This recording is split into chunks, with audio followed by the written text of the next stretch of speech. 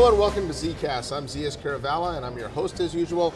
And I'm here today in person at Aruba Atmosphere. Uh, and I'm joined by Sylvia Hooks, the CMO of Aruba Networks, an HPE company. Uh, Sylvia, it's great to be back in Isn't person it? at Atmosphere. Oh my gosh, This so is an great. event that's largely three years in the making now. Yes, no, it's true. We've, we have three years of excitement packed into this one event because we had to do it virtually for two years. So we're so excited to be here and, and excited to have you with us. Yeah, so we have a lot of stuff to talk about. We're going to talk about network as a service, some innovation. Before we get started, though, uh, I do want to give a quick shout out to eWeek, my media partner. All ZKasts are done in conjunction with the eWeek eSpeaks program.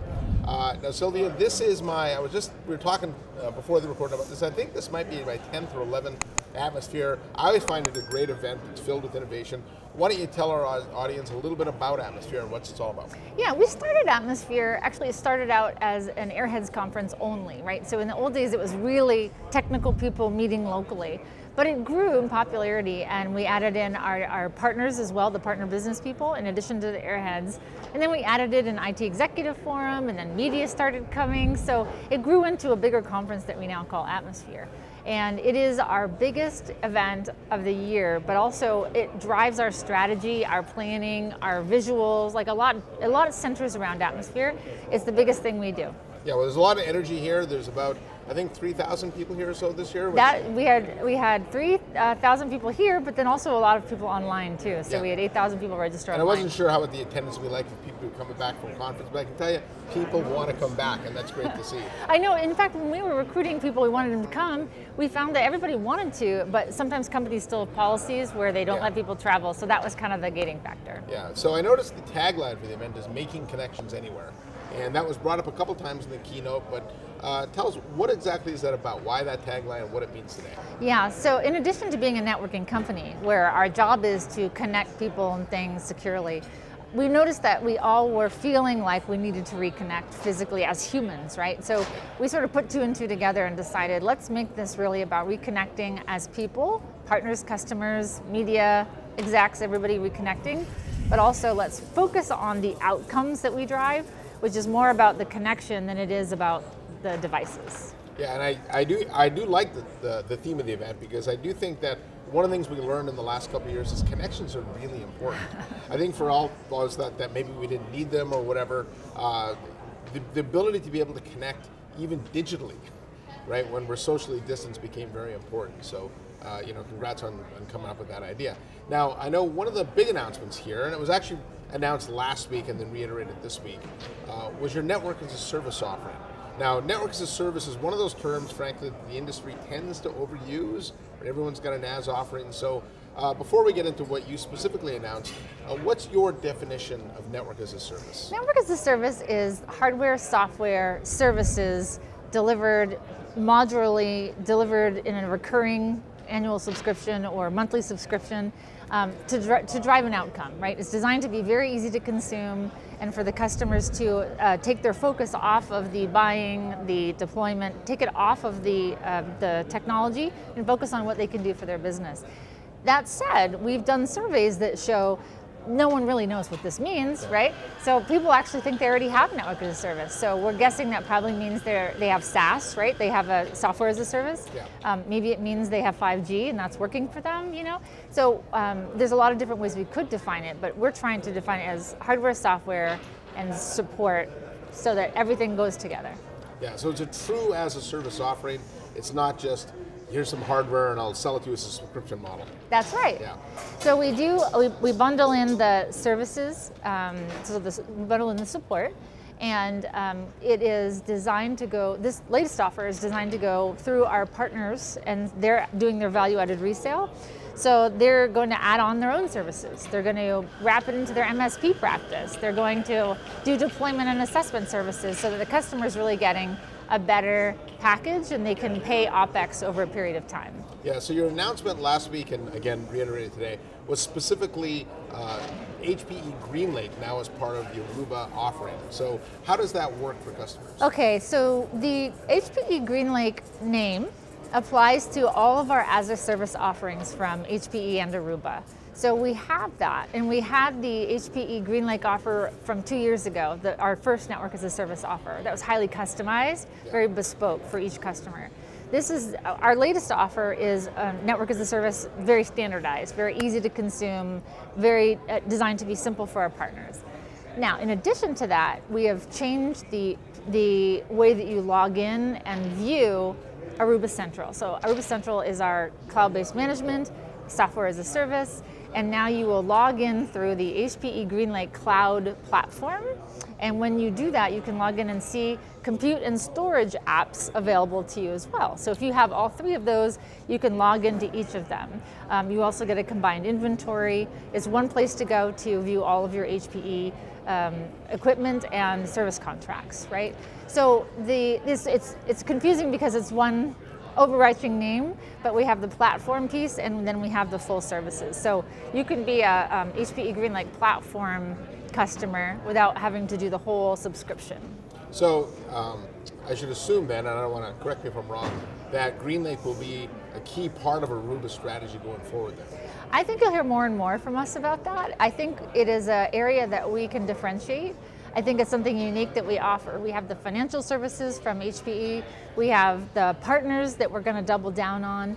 We have the, the underlying Aruba ESP Edge Services platform that really differentiates and allows flexibility. And one unique offer that, we're, um, that we just announced last week was that you can flex down. So if you have a store that you're shuttering or if you're merging, you can actually um, send back that, um, that equipment, you can flex down. So that's unique, and I think we want to talk more and more about the value of network as a service because our surveys have shown up to 69% of people are interested in consuming that way. And of course, there's always hype cycles, but I think it's uh, such a huge percentage of people that are interested that we want to make sure that we're talking about it and leading the way. Yeah, well, clearly, what I like about it is you, think of every part of IT has moved to that cloud economic model, that, that as a service model, except the network. Right. right? For whatever reason, we've lagged behind in that, and we've you know kept that legacy model. So uh, it's good to see HPE using its sort of bigger influence to be able to drive that model into networking. And that, right. to me, right, that is a differentiator. I think it's going to be tough for other companies to replicate that because they don't have that sort of heritage of as a service. Right, and it's it is complex. I mean, it, yes, we have the technology, but you have to figure out a lot of the business angles to be able to do it. Um, so I definitely think that if you haven't started, you're going to be far behind. Now you had mentioned partners, and I noticed there's quite a few partners. Right? I managed yeah. to catch up with a few of them that I know myself. And um, uh, how are they feeling about uh, GreenLake and Aruba, and what does that mean for them? So, I think um, our first of all, there's 50% of the people here are partners. Which did you know that? That's a lot. That is a lot. Right. So we're very careful when we talk to when we talk to our audience. It's definitely half partners. And as I said, the, the offer that we're making on the network as a service that we announced last week is actually designed for partners. Um, and that's different than our, our competitors. We've seen our competitors kind of pull back from their partnerships and, and maybe take the NaaS offer direct. Yeah. So our partners are very interested in getting involved, right? We, we want to give them the tools, the funding, the um, training, the technology so that they can build a recurring revenue stream. Um, and so I think they're they're looking to us to explain what is this going to mean for their businesses and how can they work with us. So they're exploratory phase, I think, unless they're already an MSP. We do have an MSP program, and they're already down that path. I, I actually think at the end of the day, this transition that HP has made to GreenLake for Aruba will be one of the most important things you do for your partners. I, I think partners, when I talk to partners, are looking for ways to engage their customers more, to be as uh, raise their level of strategic value to their customers. And to me, the as a service offering lets them go and help customers continually optimize. It helps them look at how they're consuming the products, make sure that they're right sized, right? And so I think yes. historically, what happened with network infrastructure is a partner would sell them something, say, I'll see you in five years at renewal time, you know, when it's time to upgrade. Yeah. And they didn't really interact much, but now this gives them the opportunity, anyways, to create that constant drumbeat with their customers. I agree. So, so. And I think some partners will always do things the old way, but some partners are innovative and they want to do things the new way.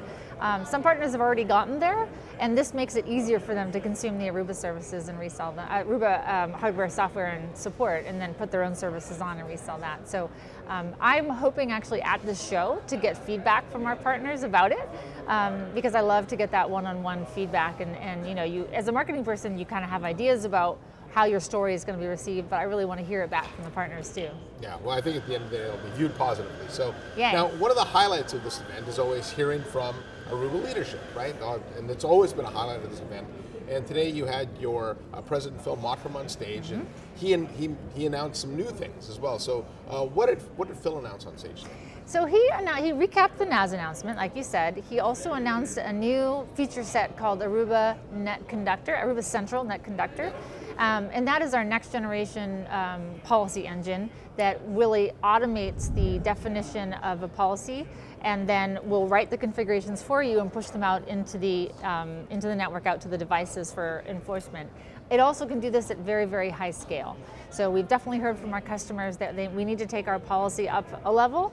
Um, we need to make it very simple to use. There's uh, the Great Resignation is causing staffing shortages, um, and the specialists that are there don't want to be caught in repetitive tasks doing VLAN configuration manually. So we are solving those problems, and that's what Phil announced on number one.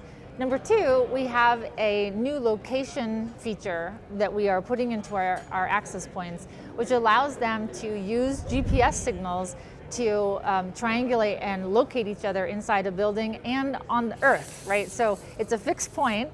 Not all the APs have to be connected to GPS, which is always a problem when you're indoors, like in a space like this. Yeah. Um, so we are making it easier for the APs to, to locate themselves, this kind of self-mapping for the IT administrator. And then for the lines of business, they will have a, a, highly accurate Wi-Fi system that, that also acts as a location platform. And it doesn't cost anymore. So it's kind of bringing it to the masses, making it more accurate, using the Wi-Fi platform to spawn a whole new generation of indoor GPS location applications. Yeah, so when I saw the NetConductor announcement, I, I liked it, you know, as a, uh, before I was an analyst, I was actually a network engineer, so I was one of those engineers that spent a lot of time doing VLAN configurations and a bunch of uh, updates. And my advice to network professionals is always, if you're doing things today that aren't strategic to your resume, don't do them. Right? Find yeah. a way to automate them out of your job. Yeah. And and uh, I have noticed, and and uh, what you're hearing from the Aruba customers, that you know, uh, pre-pandemic, I'd say when I brought up the topic of automation to network engineers, they kind of got nervous. They felt it was going to maybe do away with their jobs.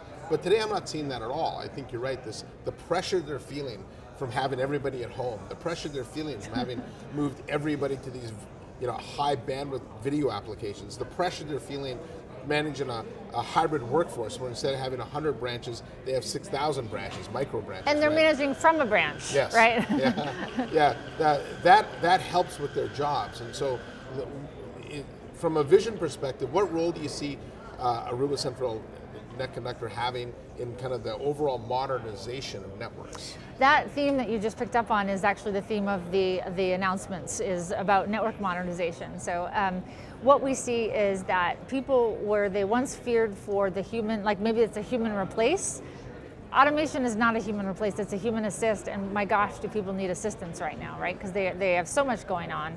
And NetConductor takes away that manual task, um, it adds automation in a safe way, right? It makes suggestions for you and it, it, it takes your policy idea and turns it into configurations. So I think that the ability, the necessity of doing that is, is forcing people to look at automation where they maybe they didn't before.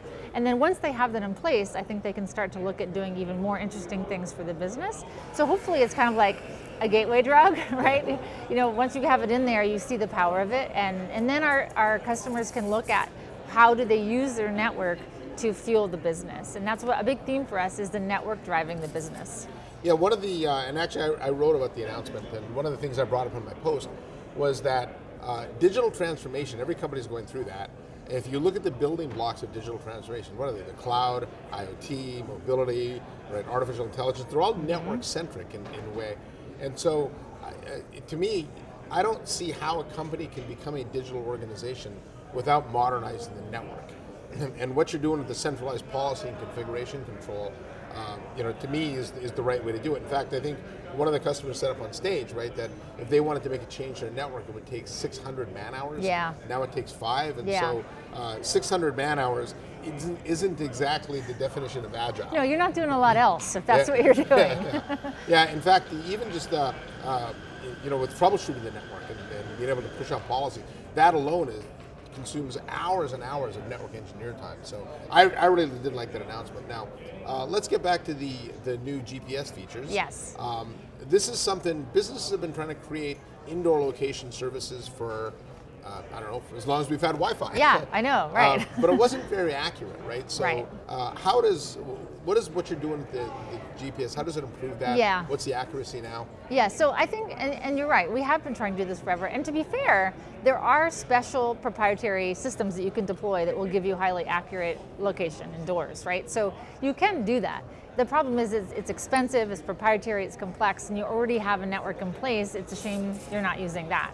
But because the APs uh, know, they, they're measuring where client devices are and they can triangulate and they can tell relative, you know, how far away you are. So they can say, I'm 15 feet from you, Zeus, but I still don't know where I am in the world, right? So what we're doing is bringing the GPS coordinates intelligence into access points. So now they know where they are on the world and they can tell you where you are on the world because we're a fixed point.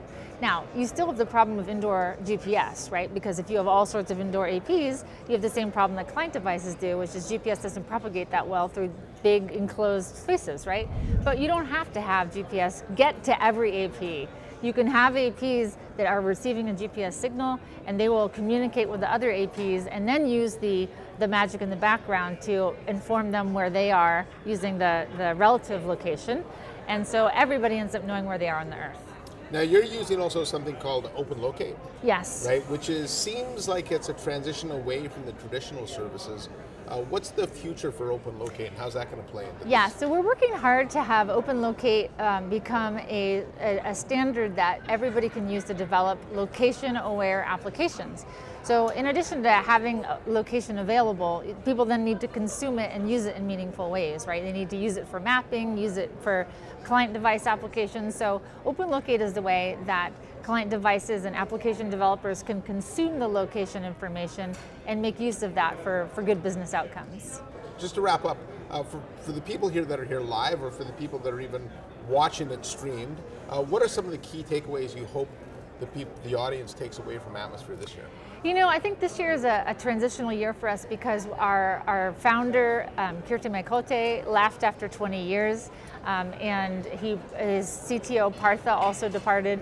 So I think everybody's been waiting to see who is this Aruba now, right? So what I'm hoping they see is that the culture is bigger than any one person, and we're all here innovating. We haven't lost our edge pun intended. Um, and so I, I, really hope they walk away with a, a, a, belief in the innovation that we still have and a trust that we're the same Aruba that we were and we're headed for great things. Um, in addition to that, we are closer to HPE as a, um, you know, as a powerful backer, if you will, right? So we're getting the benefit out of the relationship with HPE. Uh, at the same time, we're continuing to innovate.